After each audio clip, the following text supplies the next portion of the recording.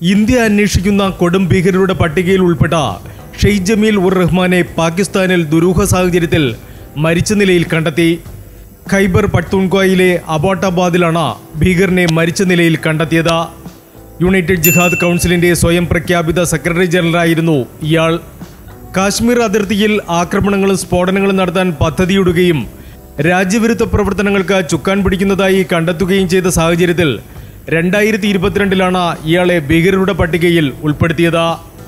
ജമ്മു കാശ്മീരിലെ പുൽവാമ ജില്ല സ്വദേശിയായിരുന്ന ഷെയ്ഖ് ജമീൽ ഉർ റഹ്മാൻ ഭീകരാക്രമണങ്ങൾ ആസൂത്രണം നടത്താൻ പദ്ധതിയിട്ട പാകിസ്ഥാനിലേക്ക് ചേക്കേറുകയായിരുന്നു. യുണൈറ്റഡ് ജിഹാദ് കൗൺസിലിന്റെ സെക്രട്ടറി ജനറലായും തഹ്രീഖ് ഉൽ മുജാഹിദിന്റെ അമീറായും പ്രവർത്തിച്ചിരുന്നയാളായിരുന്നു കൊല്ലപ്പെട്ട ഈ ഭീകരൻ. News desk Surya news.